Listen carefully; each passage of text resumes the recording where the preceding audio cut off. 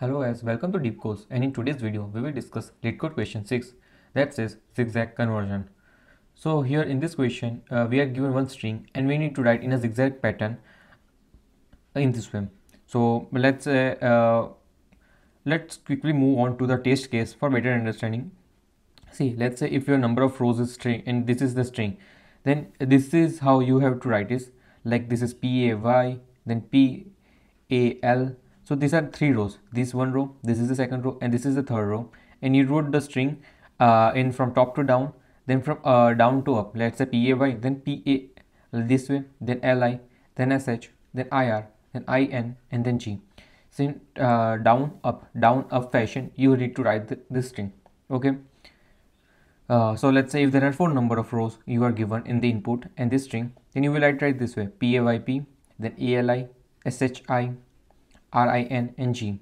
So this is how you will uh, write this code and in order to print the output you will read that in the uh, row wise that is PIN then ALSIG then YAHR and last PI. So this is how you will read the output okay.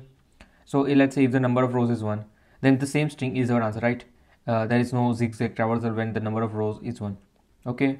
So now let me show you one uh, this example so that you can gain clear understanding so let's say this is the string and number of rows are 4 then how you can write this? See here make first uh, four rows like this way. Row 1 row 2 row 3 row 4 then start traversing from up to down. A b c d. Okay? And when you reach uh, this d then traverse from uh, bottom to up. That is when you reach the last row then travel from the last row the first row. The e f g. Okay then if, you reach the first uh, row then traverse to bottom hij klm okay. So let's say if the number of rows are 5 then also the same thing. Up to down a b c d e. Then uh, skip this. Okay. Don't uh, add again here. Let's say this is 0 index 0 1 2 3 4 so 0 to 4 then again then 3 to 0 right? Then 1 to 4 and this is 3 to 0 then 1 to 4 okay. So i hope you guys understood the um, question that how we are traversing and in order to our uh, return our output what we will do? We would do that row wise. This way like ai uh, ai then this row bhj then this row cgk okay?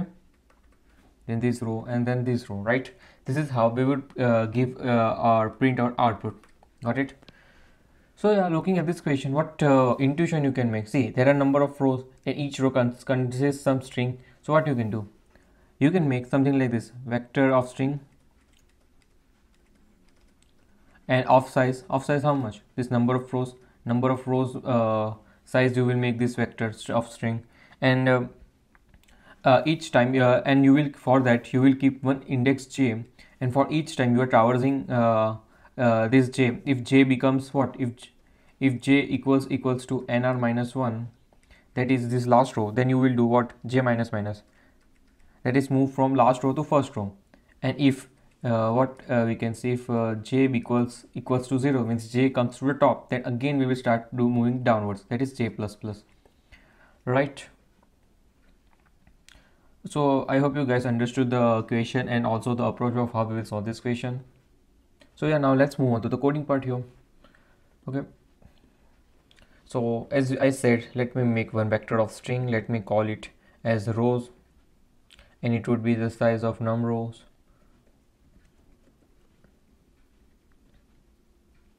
And I will also keep one boolean variable down. Is uh, initial is, is as true. The, so this down will state that whether we need to move down or not. And yeah before all this let me check for one base condition if num rows equal equal to 1 that means we have to uh, simply return the original string. The zigzag traversal won't be possible. So yeah now let's move to the for loop. I equal uh, i will initialize two variables i equals to 0 and j equals to 0 uh, one for traversing string and other another to store in this rows ve uh, vector or we what we will do we will do v of j dot push back s of phi. And now we need to update this j right? In order to move up and down in order to do zigzag traversal. So let's say if we are moving down okay. And if we are moving down and if we reach at some condition where j equal equal to num rows minus 1 that is this condition that we are moving down let's say 0 1 2 3 4 and we reach 4 so 4 is how what number of rows minus 1 so if in this case we uh, for, for the next step we need to move ahead. So or the move up. So for that let me do j minus minus and i will make down equal to false. Correct? And in the else condition i just have to do j plus plus. That is moving downwards. And in the else condition if we are on the top let's say if um, j e equals equals 0 that means now we have to move down. And for that let me do j plus plus and make down equals to true right? And the else condition as we were moving upward i simply do j minus minus. Yeah that's the code to move up and down and do a zigzag traversal. Now in the end what is remaining? The only thing remaining is uh, giving the output. So let me take one another string answer. And we will traverse this vector rows.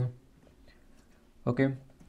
Uh, is less than rows dot size i plus plus. And what we have to simply do is answer plus equal to rows of i we are storing each rows right?